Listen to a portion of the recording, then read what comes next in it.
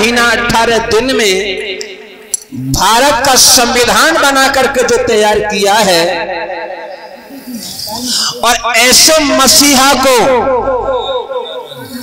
किस तरीका से लोगों ने बुलाया? और जहाँ तक कि हम लोगों ने अपने हृदय से भी बुला दिया है। प्यारे भाइयों इसीलिए मेरा कहना यही है कि बाबा साहब अंबेडकर को पहचानो, क्योंकि हम लोग बाबा साहब की संतान हैं। हमने बाबा साहब का अब तक खाया है, खाते चले आ रहे हैं और न जाने कितनी पीढ़ी हमारी बाबा साहब का खाएँगे। उनको कहते हैं देवता। जो आज बाबा साहब अंबेडकर हमको दे रहे हैं। लोग तो ये कह देते हैं कि बाबा साहब दुनिया में है ही नहीं। लेकिन मैं कभी नहीं कहता कि बाबा साहब दुनिया में नहीं है। बाबा साहब दुनिया में हैं। वो हम लोगों को दिखाई नहीं दे रहे। कैसे? जब तक बाबा साहब अंबेडकर का कानून, भारत का संविधान जिंदाबाद है और बाबा साहब तब तक हमारे बीच है। क्योंकि संविधान से हम लोग आज जी रहे हैं। आज अपने हम श्वास भी ज़िंदगी की ले रहे हैं, वो संविधान से ले रहे हैं। जिस दिन भारत का संविधान नहीं रहेगा, उस दिन इस भारत में बहुजन समाज की क्या दशा होगी, वो मैं किन शब्दों में आप लोगों को बता दूँ? बाबा साहब अंबेडकर ने कड़ी मेहनत करने के बाद भारत का विधान बनाया, संविधान लिखा। अब कुछ ही समय के बाद 26 जनवरी आ जाएगी। उस दिन स्कूलों में जयकारा लगाया जाएगा। नेहरू जी की जय हो, गांधी जी की जय हो। सभी नेताओं की जय हो, लेकिन बाबा साहब अंबेडकर की जय नहीं होगी। यानी 26 जनवरी आएगी, उस दिन हमारे बहन भाई छोटे छोटे बच्चे स्कूलों में जाएँगे। लेकिन किसी बच्चे को ये नहीं बताया जाएगा कि आज छब्बीस जनवरी क्यों मनाई जा रही है। बाबा साहब के नाम पर पर्दा डाला जा रहा है। तो कहना है, थोड़ी भैया सभी शांति बनाए रखें। मेरी माता बहने, मेरी भाई लोग, महापुरुषों की चर्चाएँ करेंगे।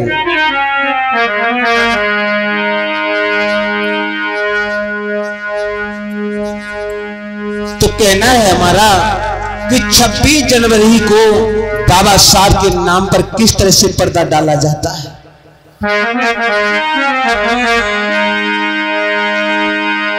कि 26 जनवरी भारत में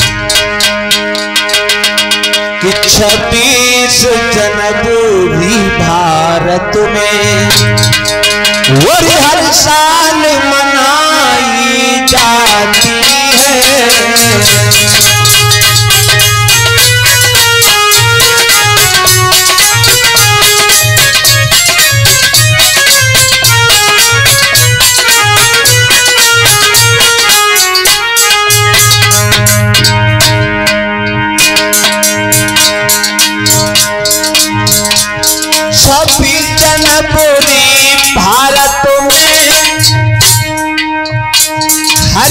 मनाई जाती है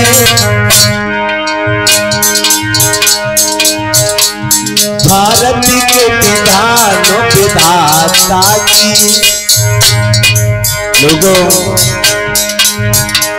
भारत के विधानों विधाता की पर याद भुलाई जाती है।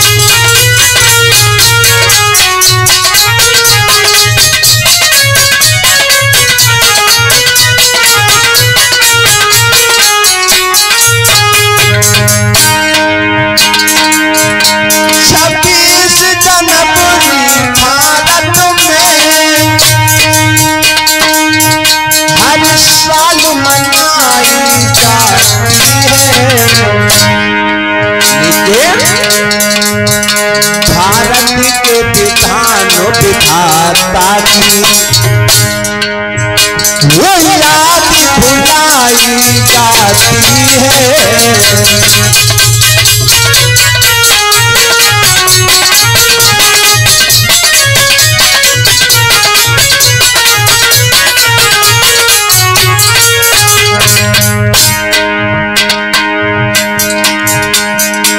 बताया गया है। छब्बीस जनवरी 1950 को ये भारत का संविधान भारत में लागू हुआ था। ऐसा ही है। लेकिन ये नहीं बताया जाता है। छब्बीस जनवरी उन्नीस सौ पचास को निज लागू कानून हुआ।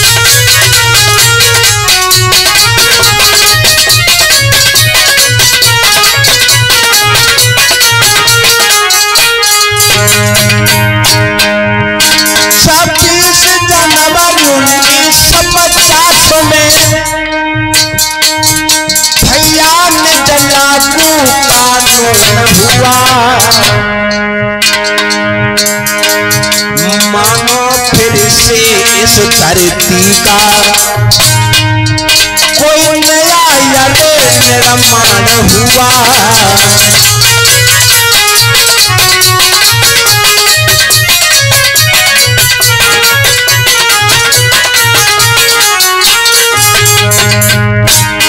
जिस समय सन उन्नीस सौ सैतालीस में इस भारत देश की कुछ दशा अलग थी। और जब भारत का संविधान बनकर के तैयार हुआ 26 जनवरी 1950 में भारत में लागू हुआ उस दिन ऐसा मालूम पड़ रहा था, मानो इस पृथ्वी का निर्माण दोबारा से हो गया हो। ऐसा लग रहा था, क्योंकि माताएँ बहने घुटनों तक का कपड़ा पहनती थी, पूरा तन ढकने का अधिकार मिला था। मेरे भाई लोगों के कमर में झाड़ू बंधा था, गले में हड़ियाँ लटकी थी। लेकिन वो मटका मटकी उतार करके बाबा साहब ने हाथों में कलम दे दी थी। ऐसा मालूम पड़ा था। भारत का विधान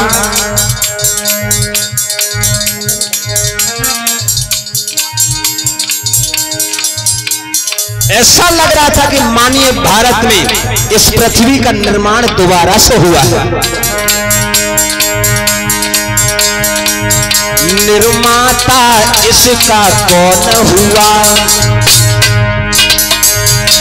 निर्माता इसका कौन हुआ? ये याद भुलाई जाती है।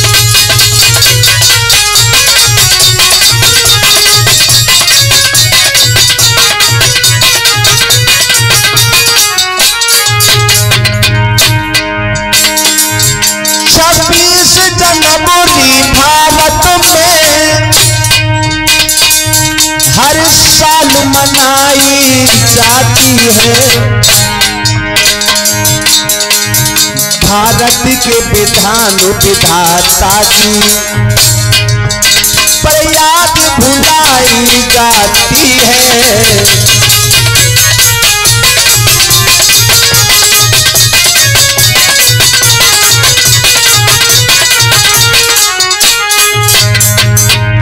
और बताया है इस भारत देश में जब संविधान नहीं था, मनु का विधान था उस समय की ये बात है। और ये संविधान बाबा साहब अंबेडकर ने जब लिखा, कितना समय लगा था बाबा साहब अंबेडकर को? दो परस महीना ग्यारह दिन। अठारह लगे बनाने में।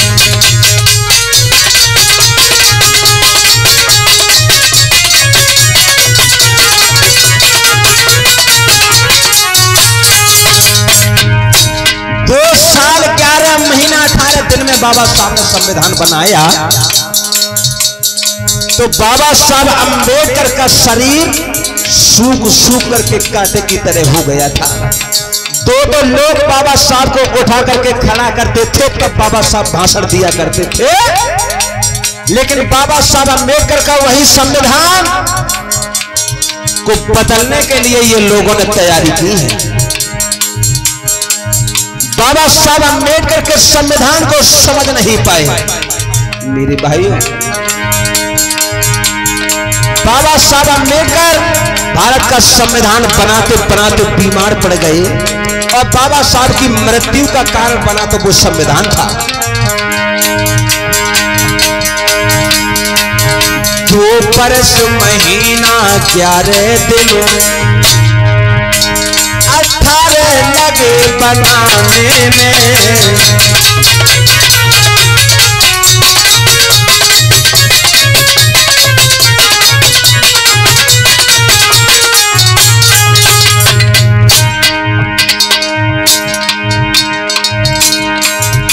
आ जाए नाम ना भाषण में।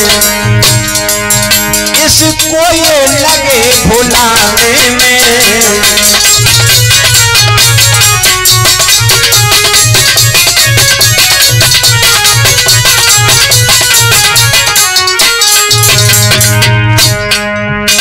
बाबा साहब अंबेडकर का नाम स्कूल में नहीं लिया जाता।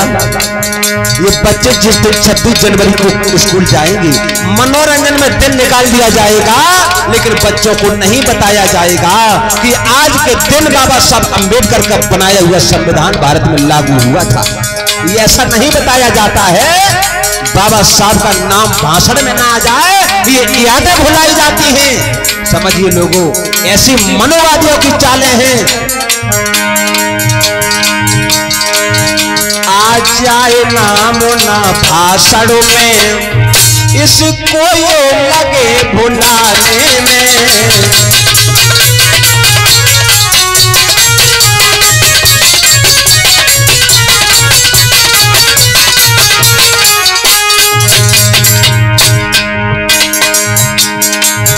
उस तेज तपस्वी की श्रद्धा से अरे आँख चुराई जाती है छब्बीस जनवरी भारत में हर साल मनाई जाती है।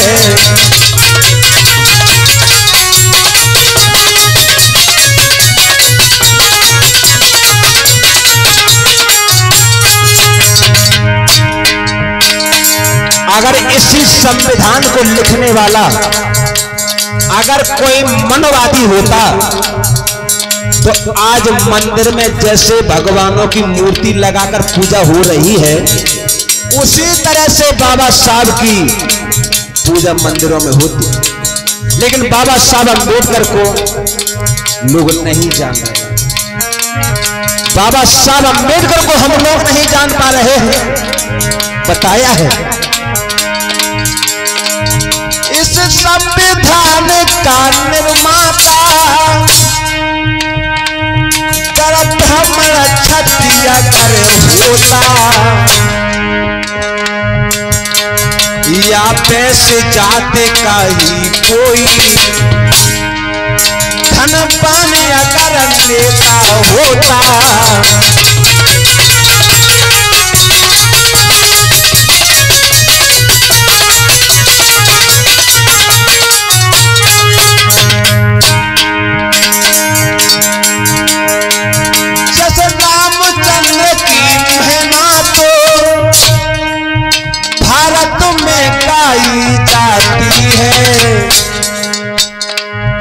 जैसे रामचंद्र की महिमा गाई जा रही है। अगर बाबा साहब अंबेडकर मनुवादियों में हुए होते या कोई मनुवादी संविधान लिखने वाला होता तो रामचंद्र की जैसे महिमा आज भारत में गाई जा रही है। वैसे ही उसकी महिमा गाई जाती है। लेकिन हम लोग मनोरंजन को सुन रहे हैं। कि साज कैसा बज रहा है, चिमटा कैसा बज रहा है, गाने वाला कैसे चला रहा है हाथों को? ये हम लोग मनोरंजन सुन रहे हैं, लेकिन मसीहा हमारा कौन था और किसने हमारी ज़िंदगी को सुधारा था, हम लोग उस तरफ़ नहीं जा रहे हैं। जैसे रामचंद्र की महिमा तो भारत में पाई जाती है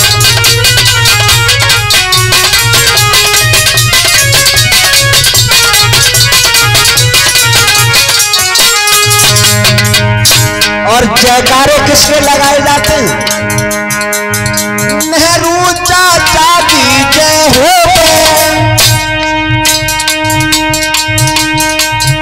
बापू जी की संग जय हो पर बाबा साहब की क्यों नहीं? पर बाबा साहब की क्यों नहीं? उस जगह फिर न जेना होवे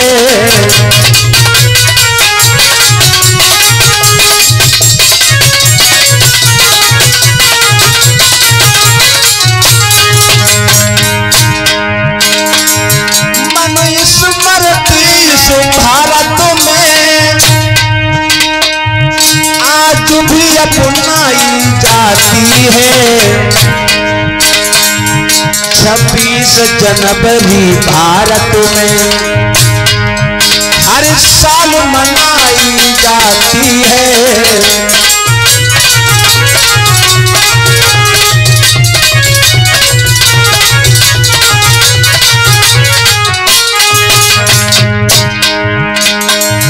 छब्बीस जनवरी भारत में।